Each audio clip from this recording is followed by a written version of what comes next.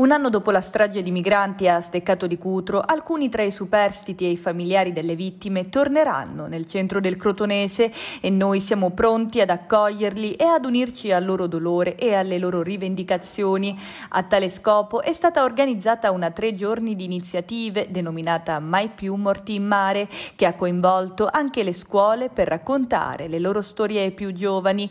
Ad affermarlo la rete 26 febbraio, costituita dopo il naufragio del barcone carico di migranti in cui morirono 94 persone, 35 dei quali minori e ci furono una decina di dispersi. Tra le iniziative in programma il 25 febbraio a Crotone una manifestazione dal titolo Per non dimenticare. Nel pomeriggio dello stesso giorno ci sarà un dibattito con la partecipazione di una rappresentanza dei familiari delle vittime e dei superstiti.